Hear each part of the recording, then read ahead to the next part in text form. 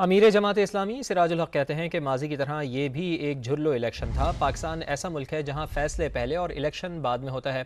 लाहौर में news conference के दौरान बोले कि बासर इदारों की मुदाखलत के बारे में हर फोरम पर गुफ्तु हो रही है।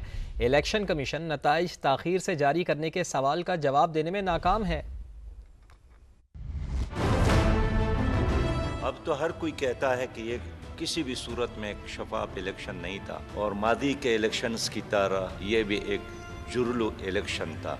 पाकिस्तान में एक ऐसी जमहूरियत है जहाँ फैसले पहले होते हैं और इलेक्शन बाद में वज़ीर अजम और वज़ीर अला का इंतखब पहले और इलेक्शन प्रोसेस बाद में होता है। इलेक्शन कमीशन इन सवाल का जवाब देने में नाकाम है कि इलेक्शन के दिन इंटरनेट क्यों बंद था, मोबाइल फोन्स क्यों बंद किए गए, इलेक्शन के बाद नतज में इतनी तखिर क्यों की गई? अगर जमहूरी निज़ाम मुस्तकम नहीं हो तो मीशत भी बेहतर नहीं हो सकती है। बाहर की किसी इदारे को अपने मुल्क के मामलों में दखल अंदाजी के लिए ख़त लिखना, ये हम कौमी मुफाद के खिलाफ समझते हैं। शहबाज शरीफ ने हल्फ नहीं उठाया है और ऐलान किया है कि आई एम एफ़ के दरवाजे और आई एम एफ़ के चौकट पर सजदरेज होने के अलावा और कोई रास्ता नहीं है।